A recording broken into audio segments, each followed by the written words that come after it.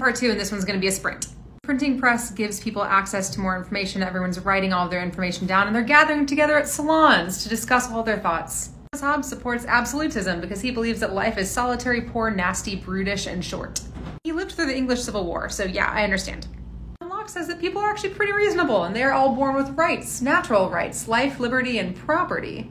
It's the government's duty to protect those rights, and if the government doesn't protect those rights, it's the duty of the people underneath that government to overthrow it. Advocates for revolution, which is wild. Cesare Beccaria, the Italian, writes in Essays on Crime and Punishment, in which he advocates for the punishment fitting the crime. What a radical concept. Montesquieu believes that absolute power corrupts, so instead he advocates for a separation of powers. I don't know, like three branches of government. Mary Wollstonecraft writes on the vindication of the rights of women, in which she says that women only appear inferior to men because they lack equal access to education. Go to part three to learn about economics.